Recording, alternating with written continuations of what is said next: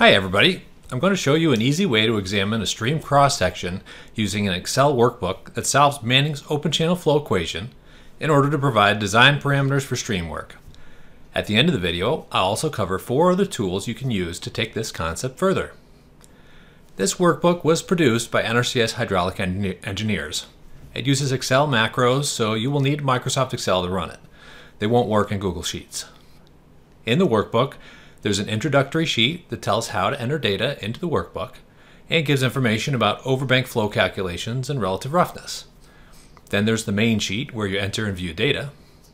There's a cross-section sheet that displays the channel, water surface elevation, and overbank stations. The two remaining sheets are for temporary computations that the macros require. The data requirements to use the sheet are fairly simple. You'll need a station, elevation, and n value for each surveyed segment of your stream cross section. You can get these in several ways, but the easiest for many people is with a rod, level, and tape. I love these old drawings from USDA manuals. This one even shows a spring scale at one end for correcting horizontal distance based on the tension in the tape and the weight of the tape. You could also use survey grade GPS, a total station, or downloaded bathymetric data from a GIS website. In Manning's equation, the n value represents the roughness of the channel, or how much resistance it applies against the flow. N values are typically pulled from tables, but you can also start with a tabular value and modify it with coefficients for different stream features. For table values, you can use the old NRCS National Engineering Handbook, Chapter 5. I'll include that with the spreadsheet linked in the description. For an at-length discussion of modifiers for stream channel features, you can look at the WinXSPro user manual, and I'll include a copy of that as well. The workbook can compute overbank flows separately from the main channel flow if you input bank stations. This is important for sections where there's a broad, flat overbank area. For areas like these, small increases in the depth give large increases in the wetted perimeter, which decreases the hydraulic radius, and that can uh, result in unexpected results. The intro worksheet has more information and an example. Another thing to keep in mind are different modeling techniques that use a variable n value that depends on other stream channel or flow characteristics. One of these models uses the Limerinos formula, and that option is included in the spreadsheet. The Limerinos formula computes the relative roughness of the stream channel based on the D84 grain size and the hydraulic radius. With this method, the channel overbank areas are still computed with regular constant n values, but within the channel, the Limerinos formula is used. To activate this option, you type the word relative into the n value column for the left side of the boundary. In the cell below, you put the D84 size in inches or millimeters. To end the relative roughness boundary, simply input a regular n value at the station you want that to begin again. These instructions are also covered in the intro sheet of the workbook. And keep in mind, the Limerinos formula is only valid for gravel bed streams. To use the sheet, you input your cross-section stations and elevations here on the left. You can specify Manning's n value for as many sections as you would like.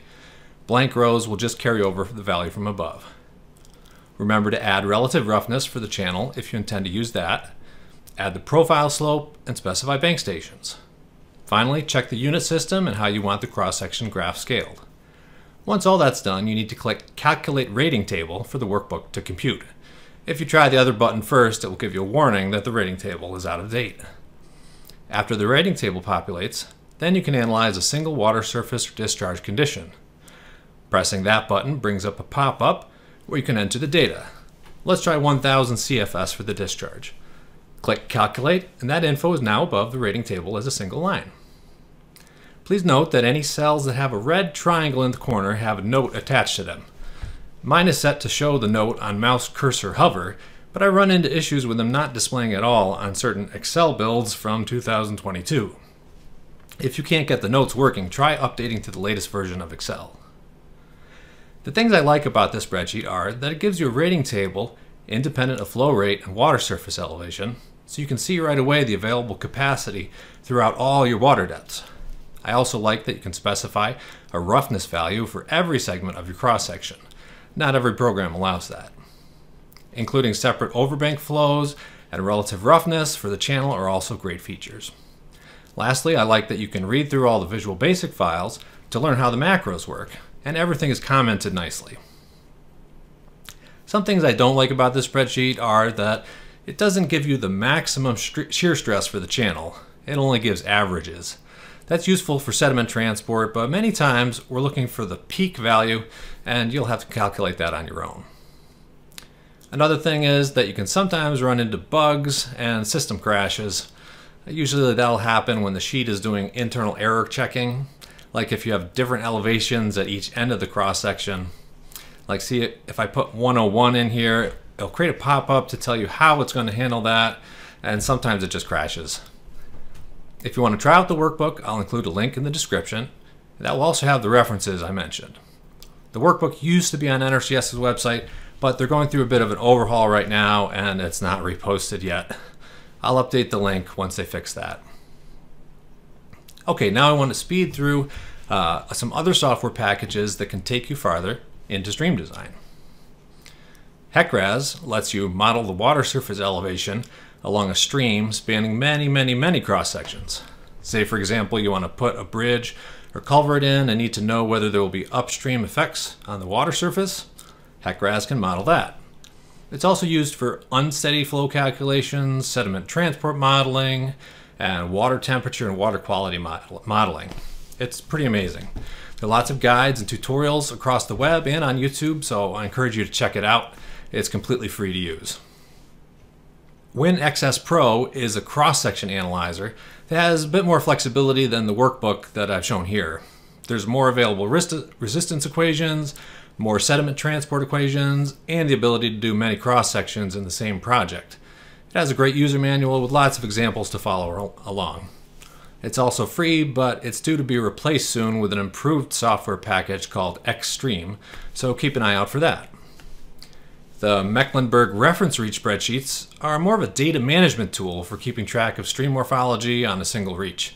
It's based on Dave Rosgen's techniques up to the 1990s. There's pages for cross-section data, profile slopes, meander patterns, and bed materials. It's a good system for organizing data, but has somewhat been replaced by RiverMorph.